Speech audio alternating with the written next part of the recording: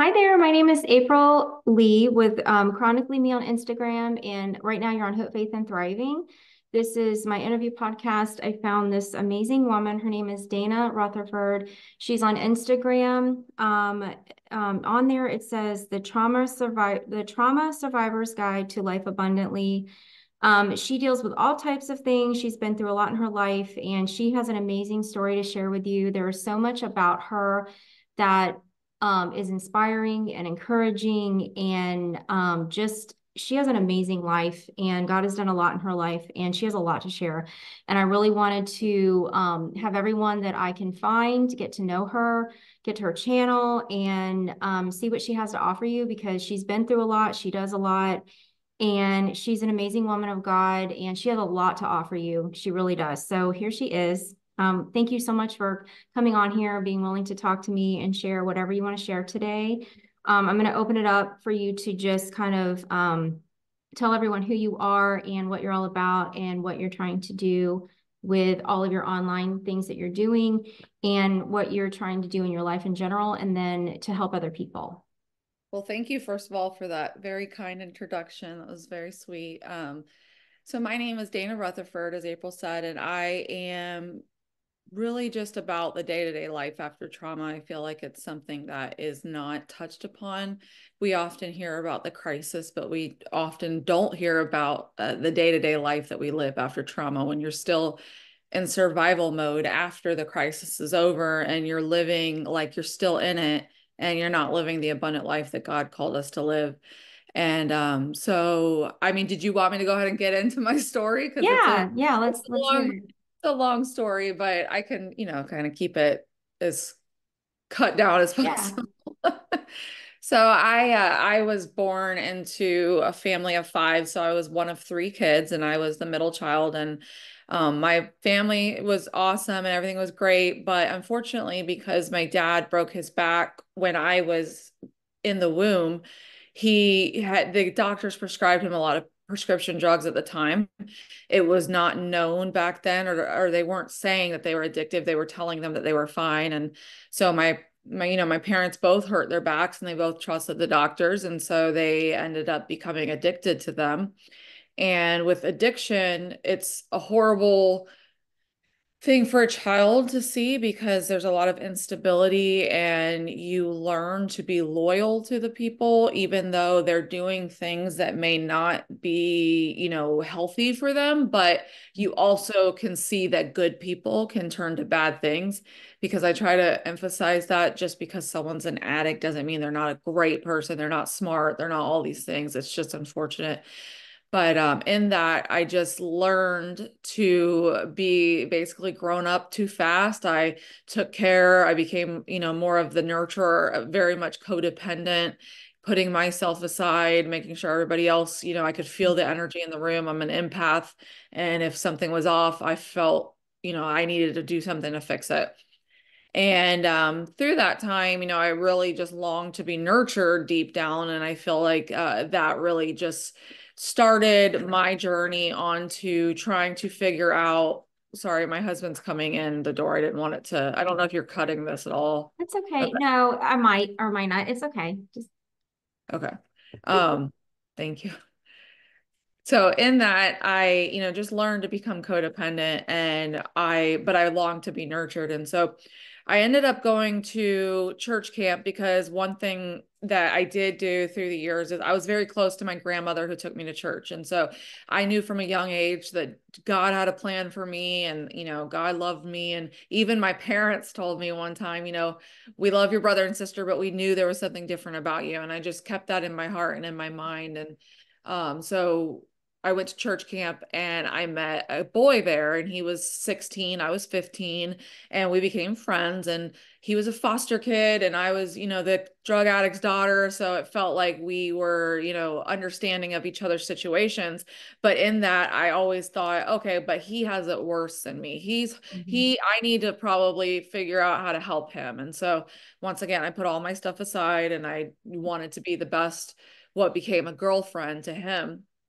and there was a lot of red flags in the beginning and i just ignored them. I i gaslit myself basically into believing that you know oh well you know he just has a lot of issues and you need to be more considerate of his issues. And so um, when i turned 18 i was like you know i want to move out. I want to get out of this life with my family because both my brother and sister became addicted too and it was just wow. it was chaos and i wanted out. I wanted this happily ever after that they tell you about that's really not the case. and so it's like the Disney lie that we all believe. And I, so we got married at 18 years old. I was 18, he was 19. And I don't recommend that ever because you don't even know, like, my son's 15 right now. And I'm like, uh, there's no way he'd be ready in three years to get married. Wow. And so, um, um, after we got married, so two and a half months after we got married, my mom went to the hospital and I thought, okay, well, she's getting prescription drugs. That's what they do. They go to the mm-hmm. hospital and the hospital give them the drugs and that's that. And that's what they did often. But this time was different. They told us, they called and said her liver was shutting down. And within six days, she was dead. It was very, like, very unexpected. She was 44 years old, very young, but it was all the prescription drugs, they wreck your liver. And then you know, so I took in my dad and my little brother, who was 17, into my apartment. And, you know, I didn't even grieve myself. I grieved more for my dad at that time because I was like, he was just so pitiful that he lost his wife. And, you know, he really tried to get better at the end because we did have a conversation like, you know, hey, I, I really need you as my dad to like be there. But uh, three weeks after my mom died, I decided to get out of the house, go to the mall because I had just been in, engulfed in grief. And even though I wasn't grieving, I had to grieve for everybody else and let them all grieve. And so I just needed some time to myself. And when I came back, um, my dad, I went to check on him and he was dead. He he died on my couch. So oh my it was like a weird I don't even know how to explain it. I was in such shock. We literally were, it was like going through the same thing three weeks later. So by that time, I was just like, I, I didn't even know how to comprehend it. And so, um, you know, I got married and then bam, both my parents are dead. And then, you know, we're taking care of my little brother who's 17. Well, I didn't realize how bad his addictions were because he was now he was now using to you know cope with the grief of losing. He was very close to my mother like was diagnosed with separation anxiety. So when my mother died it was just a horrible situation for him and he was using and him and my uh then husband decided to do drugs together and I had no idea. And so um 8 months after my parents died I found out that my husband was having a full affair uh was sleeping with a girl that he did drugs with and just left with her and went to Pensacola, which is seven hours away from me, mm-hmm. and left me. This was the first time I was homeless, left me to just deal with everything. I had no money, I had nothing, you know, and so I was bouncing around friends' houses and couches until I got kicked out. And I was just lost. I had, you know, no thought of myself other than to just survive. I didn't know how to be a woman. I was thrown into womanhood at a young age. And with that your self-esteem plummets and eventually he came back around and wanted me back and you know all that good stuff and i i didn't want to get back with him but at the same time i was so shot with my self-esteem and i lost everybody. My brother and sister went off to rehab or you know whatever they were doing and so it, the thought of having at least somebody there, you know, it lured me back into be, to getting back with my then husband.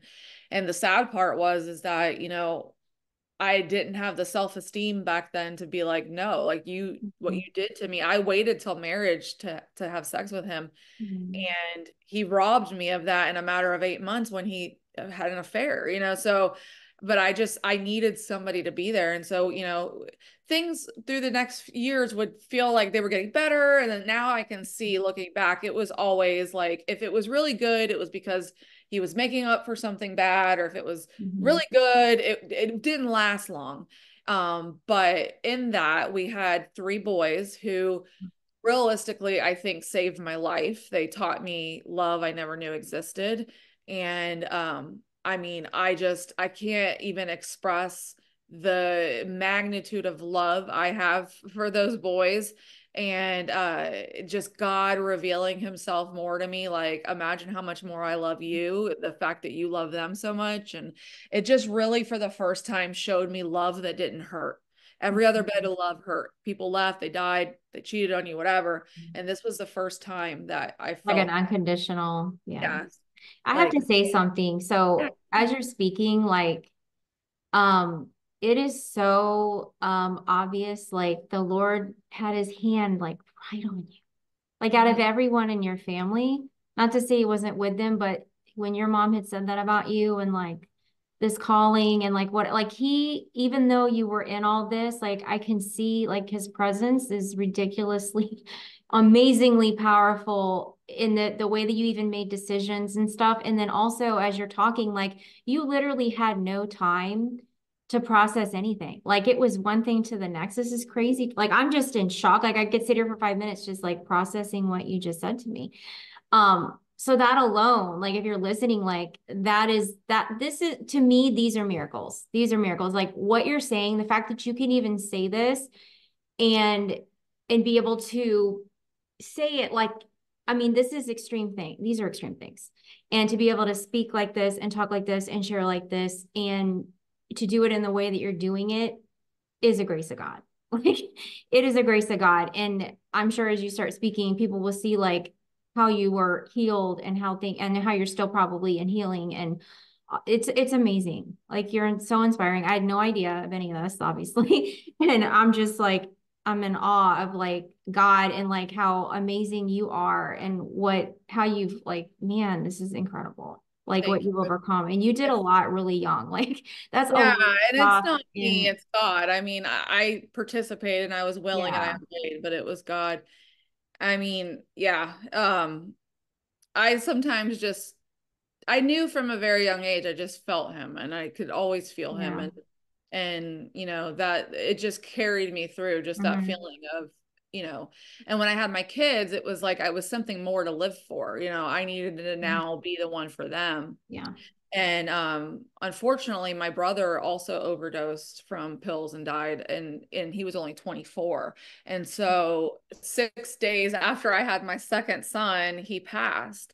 And I was like, here we go again, you know, like I can't even enjoy a moment and one of my family and I just got angry because it was like I wasn't angry at him. I was angry at my parents because I felt like he never got a good shake at life. He was the youngest. He, you know, was the only boy and and he just was so depressed, you know. And so for me, he was he I was very motherly to him. And so it just hurt my heart.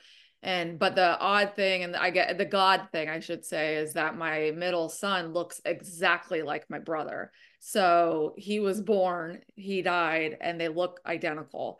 And so God gave me that. But in those years, you know, it was just, I was a stay at home mom for a while. I homeschooled a little bit too. And it kind of made this environment that was easy to then abuse me because it was like oh, I had nobody I had nowhere to go I had no mm-hmm. money I had nothing you know other than my children and so as the years progressed in my marriage uh you know he started to get more he had you know more affairs and he started to not pay certain things like he was lying about money and i realized he was using drugs again throughout pretty much throughout the whole marriage but it was like in little spurts but it was probably more than i ever even will know. Like there's probably mm-hmm. more than i that i don't know.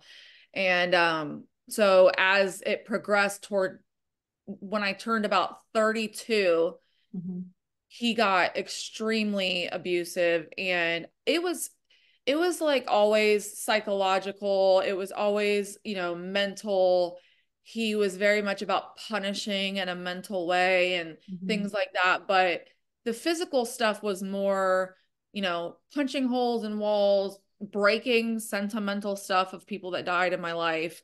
Um you know even he even like grabbed me before like yelled at me in my face but as he got worse on drugs when he was coming off of drugs he started to become very abusive like wow. there was moments that i was scared he was going to kill me because he was very physically abusive And so, you know, I started to fear not just for my safety, but for my kids. He never he never hit them, but is I tried to always hide what he was doing, but there came a point that they could tell, you know, they knew. And so um when I turned 33, I was like, you know, God, what do you want from me? Because I, what am I gonna do? Like, I, I have nowhere to go. You know, I, I have these three kids that need me. Like, I really felt like I was gonna like lose everything if I left this person. Like, he, I had, mm-hmm. I couldn't breathe without him. Like, yeah. what was I gonna do? And God said, there was a couple of things God said to me. Number one, He goes, uh, you think that you are you know you pride yourself on the fact that you're not an addict like your family but your addiction is codependency and if you don't get out you're going to die young like your mom did. And i was like wow like satan came through the back door. Mm-hmm. because you can put a drug in front of me and i'm like whatever you know i saw what that did. But the relationship the codependency the things i saw with my parents their toxicity that came sneakily through the back door and that was my addiction. And then he also told me you know if you if you obey and you let go of this one thing that you feel like you can't live without that's very much killing you i you like you jump and i'll catch you basically.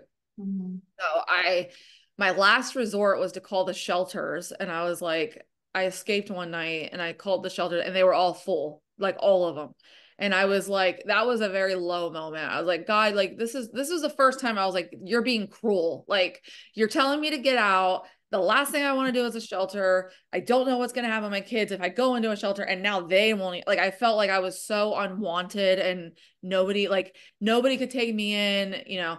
Finally, I had one friend that was like, "Look, you can stay here for a few weeks, but you're going to have to go after that."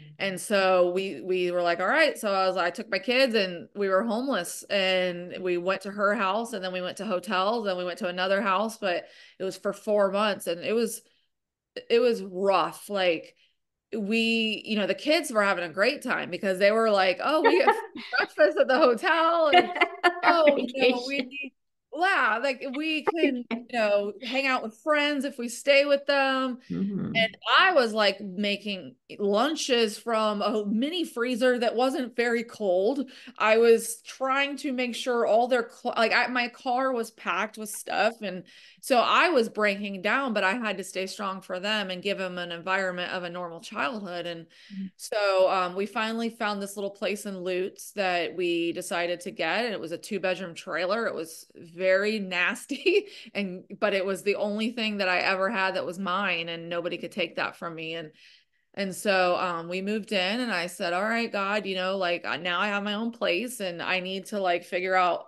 work. And, you know, I was substitute teaching, but that wasn't enough. And I knew that the summer was coming and, you know, they don't do te- substitute teaching in the summer. And so I just really started praying and God led me to go back to school. And so I went to a community college, uh, online, got my AA.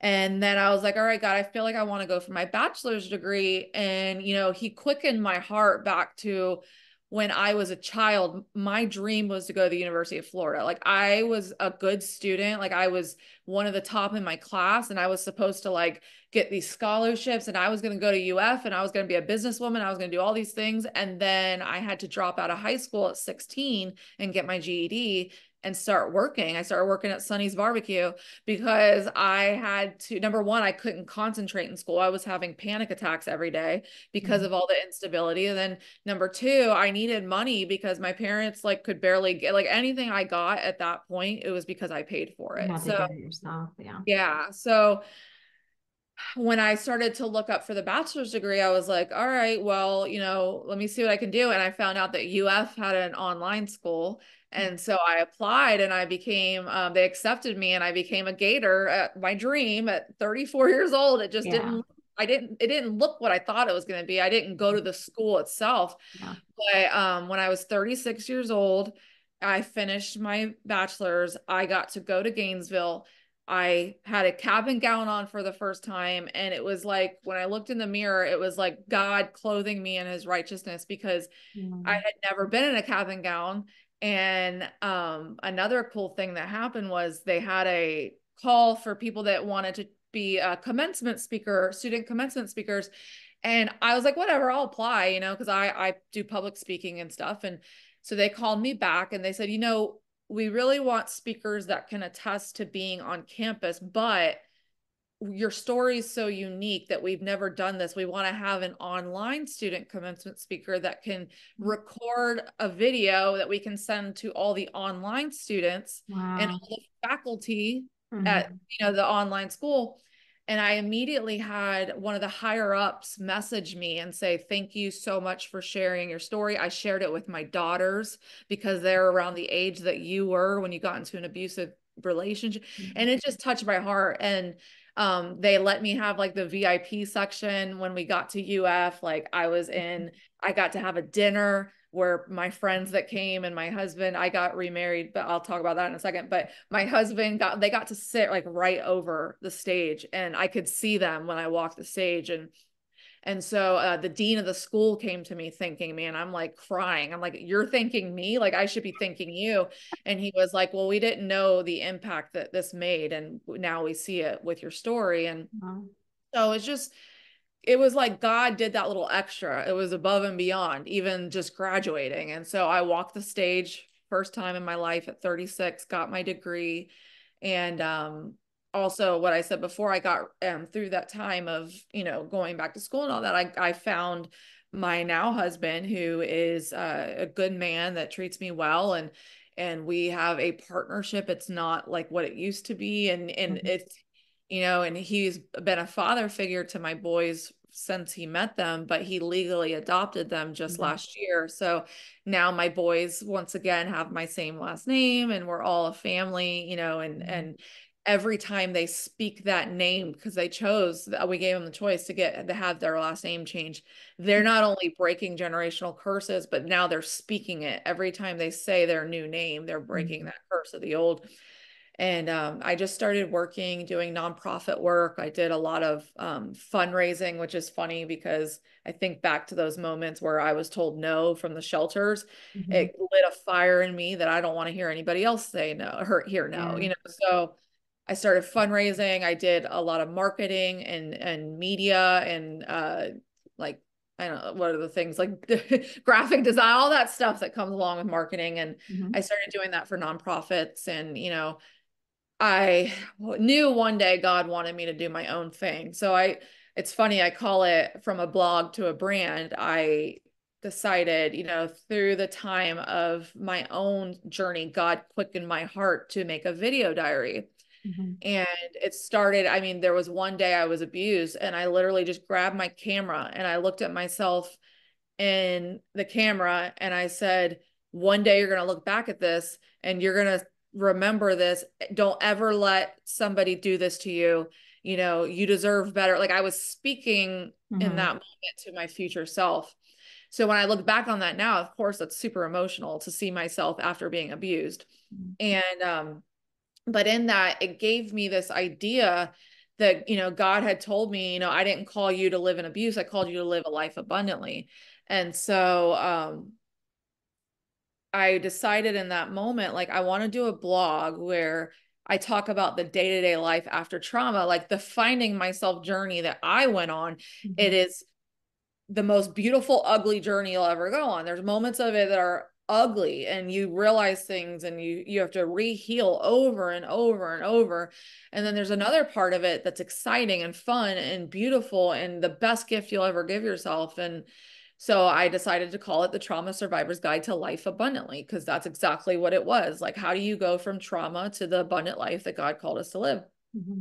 And as I started to do more nonprofit work, I just felt I started there was a moment where just the grace was lifted and I just did not feel happy anymore and I was like god this is actually becoming a toxic work environment for me and mm-hmm. you know mm-hmm. there's just things that you see sometimes in that world that you know it's hard cuz your heart is in it for the mission and you see the mm-hmm. ugly sometimes and I was like, all right, God, if it's again, if I jump, will you catch me? Because if you're telling me to do this, I'll do this. And so, mm-hmm. you know, I'm operating in very bold faith right now with starting my own business and I decided to take it from a blog to a brand because it it grew it grew and grew and grew and and we've been adding things to it and you know I have all these ideas and and so for me it started as a blog and then in it became this thing it's a movement now you know it's more of mm-hmm. a creative outlet not just for me but for other people to to yeah. share their stories and to learn about the life after trauma and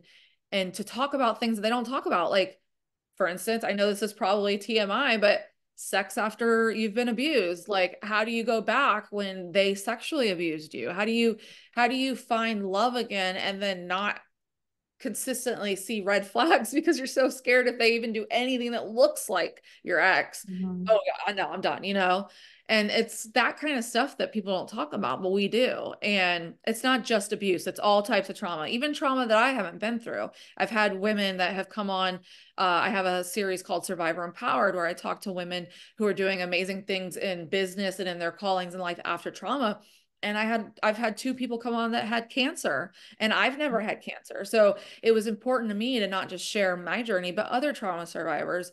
Mm-hmm. And so in that too we're having our first women's conference called the Survivor Empowered Women's Conference where we're going to have speakers who are women that are doing the same things, amazing things after trauma and a mental health panel and a beauty style and health panel and a raffle and so it's going to be like you laugh, you cry, all that good stuff and you know, I just God's just really moved our um, my businesses. I've started another business called A Million Dreams Creative Consulting, where I can help other people that are going through, or I'm sorry, other people that are starting businesses in this world. And okay. you know, God's given me so many ideas for workshops, you know, how to brand yourself and how to, you know, once you, if you've been through trauma, but you want to be an entrepreneur, like a mm-hmm. survivorpreneur or whatever you want to call mm-hmm. it.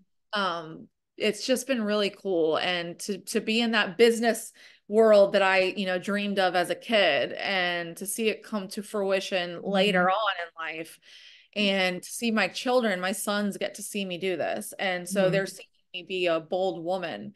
And when, you know, in a world that, you know, men was not the men in my life were always above me, you know, and now I'm getting to be who God mm-hmm. called me to be. And so yeah, it's just been great. I I do a lot with women in business now you know, God really challenged me because it was super easy to do things for women who were like me, the single moms, the underserved, the people that were going through it, the people that didn't have a lot.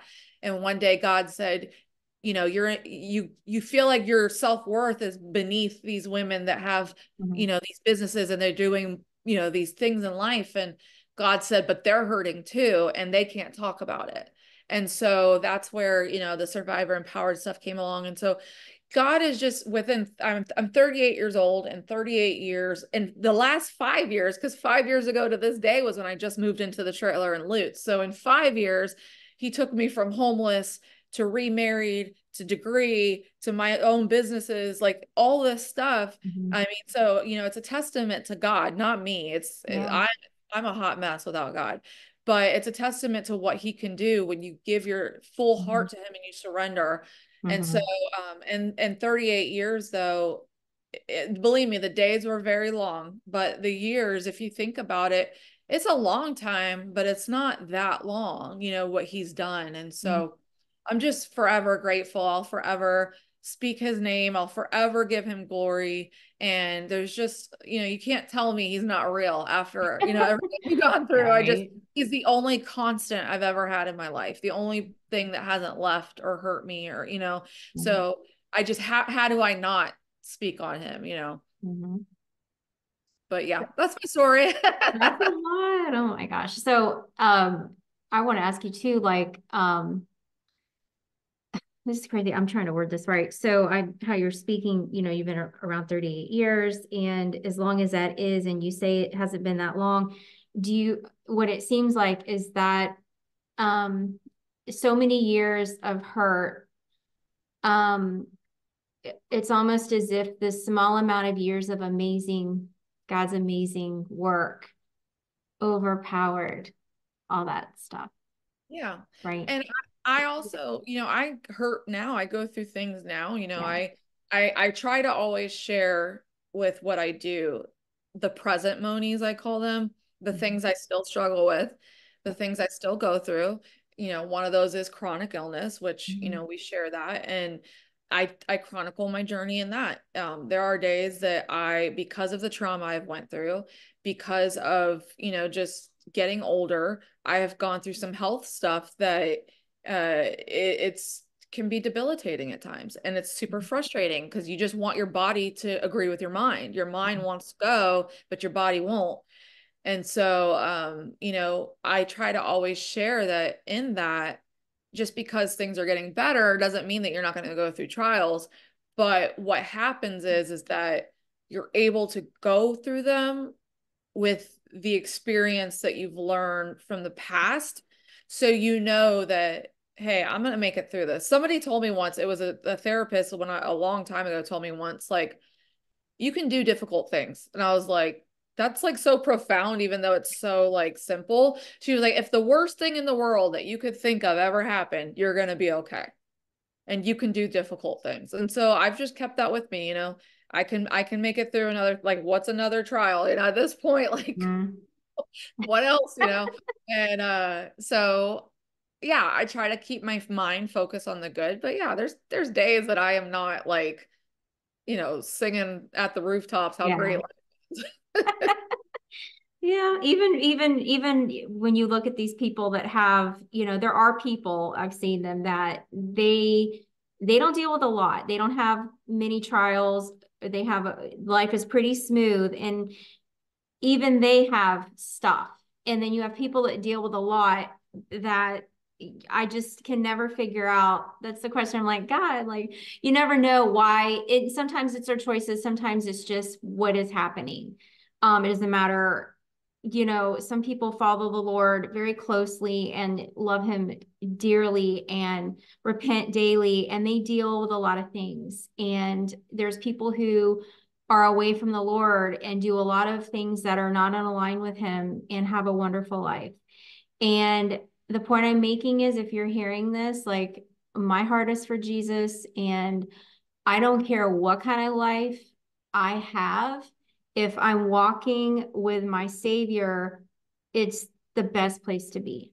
I don't care what is going on, like what, you know, oh, Sally looks like she's doing great, but she's sinning away and doing all these things that don't align with the Lord. I rather live a life of Christ and walking in that direction, whether I have trials or not, or I'm not going to, we don't need to be comparing ourselves to those people because um, a lot of people think like, you know, oh, you know, the Lord did this to you or crazy things, crazy yeah. things because of things we've been through. And um, I know people that deal with things that um, some people think like, oh, you know, it's from your sin or it's from this or that. And the Lord is not a torturer or punisher like that. And um, if you're listening in, I pray that you are feeling encouraged and inspired by Dana's story and her life and that you see that the goodness of God in that, in that God is amazing and can turn around anything, anything, like anything, anything and everything you could ever imagine. So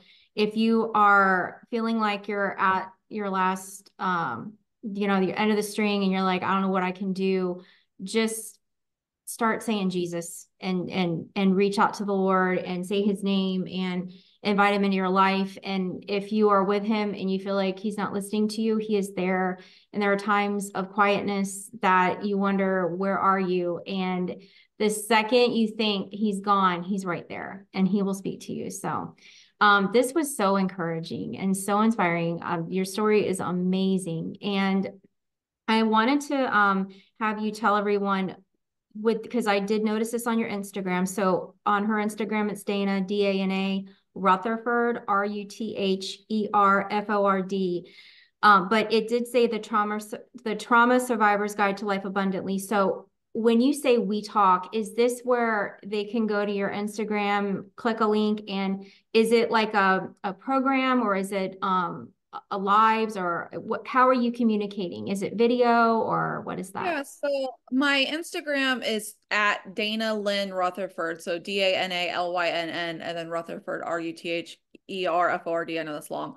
Um so in that i mean and then i have my website www.traumasurvivorsguide.com so we do a lot um, of videos and things through that uh, on my website, we have some blogs. We have our Survivor Empowered Women series that I put out through Instagram and Facebook. So we do have a Facebook page, not only my personal page, but we have one for the Trauma Survivors Guide to life abundantly. I started a group a private group on there as well so people can go in there and share. Um, but we what i do is i share content on social media and people often are talking in that.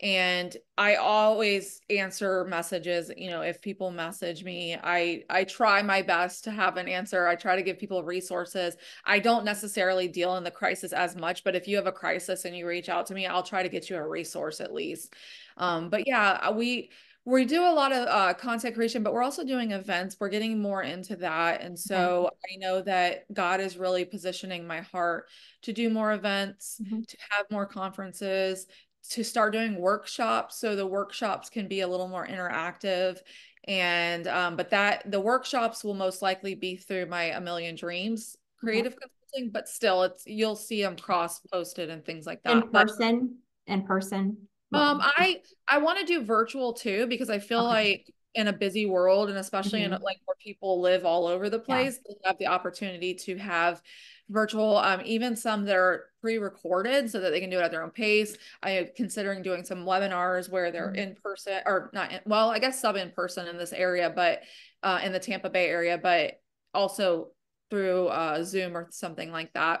So yeah we there's various ways. I feel like nowadays there's so many ways to communicate so you can go through many many chapters. Mm-hmm. i also do um so i do affiliate marketing where i uh get items sent to me and i do videos for them. So you'll see a lot of that on my instagram too and you're gonna be like well that's not about trauma but realistically it is because you know god really quickened my heart with that stuff too. It's like I, you know, I am a girl. I well, I'm a woman, but mm-hmm. I I like girly things and I, you know, I feel like for so long I felt like I didn't deserve things and and you know, part of this journey of trauma surviving like the life abundantly is that, you know, you start to think of like what can I do to feel better and look better mm-hmm. and you know how can i have these things that i love and it's not about the things in a materialistic way but it's i deserve these things and so it's been a really cool experience to be able to actually like uh, get things sent to me. I actually can make money off of that stuff too. And so it's a way to help my family while God has blessed me to be able to do that. So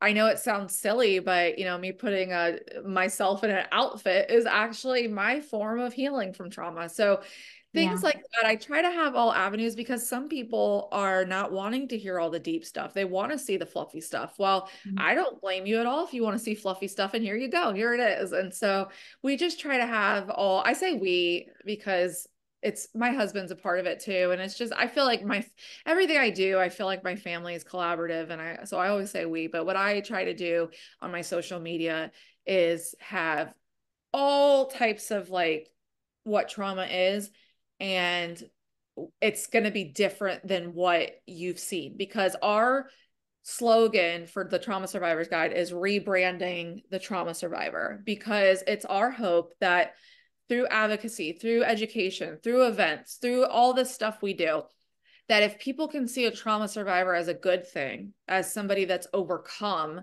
mm-hmm. that maybe it'll help somebody in their own journey because right now when you Google trauma survivor, all the images are gloom and doom. Yeah. So it's easy to say, well, that's what I am, you know, and suddenly 20 years later, you're mm-hmm. still talking about your trauma like it just happened. Mm-hmm. When I want to say, hey, I acknowledge my trauma, I still hurt at times, but I can live an abundant life after it. And so um, that's that's all it's about. We try to show that, and uh, we try to be an avenue for that.